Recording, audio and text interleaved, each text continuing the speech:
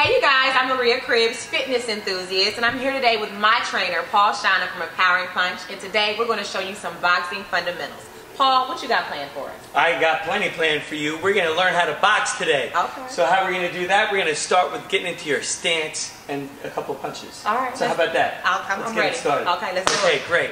So if you don't have a line, if you don't have a mirror, this is the simplest way to do it, just in your living room. So here, let's get your feet together. Together? Uh-huh. If you're a right-handed fighter, we'll talk about lefties later, but for now, we're going to keep the orthodox stance. So how are you're going to do that, you're going to put the ball of your left foot inside the arch of your right.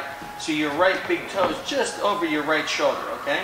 From here, you're going to take a half step forward towards your target. Keep your feet about shoulder width, and you're going to keep your knees soft now.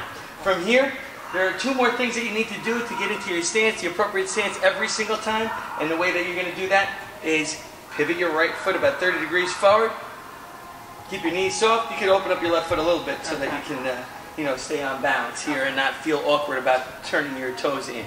So from here, you're going to make like you're plugging your fist into the floor in front of your left thigh.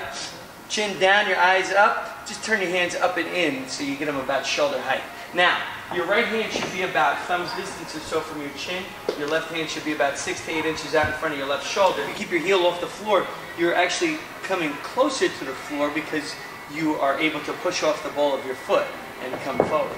Because we're going to get into your footwork now. Oh, so from here, uh, if you, I'll just give you a little example. If you keep your foot, foot flat on the floor, Mm-hmm. step forward. Go ahead.